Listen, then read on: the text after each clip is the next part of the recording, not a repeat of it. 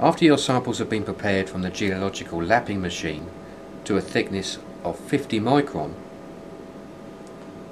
we are now moving on to the polishing stage with a Forcipol 301V and a Forcimat thin section polishing head. With your test sample piece placed into the locator,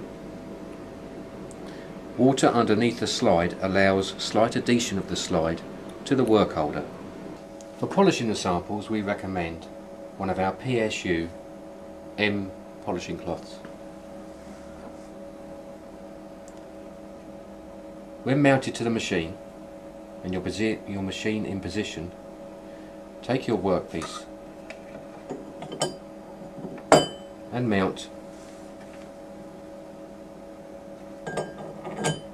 into the head unit. Once your test pieces are set into your work holder on the Forcimat head, set your pressure.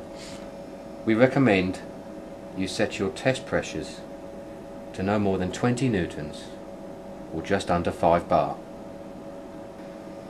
To set the Forcimat and Forcipol units, please refer to our other videos. But once set, set the Forcimat to auto which will work with the Forcipol unit. Set your times.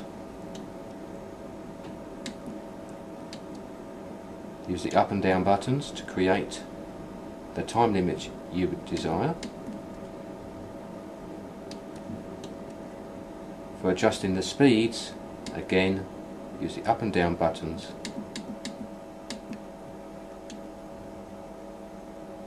The process is now ready to start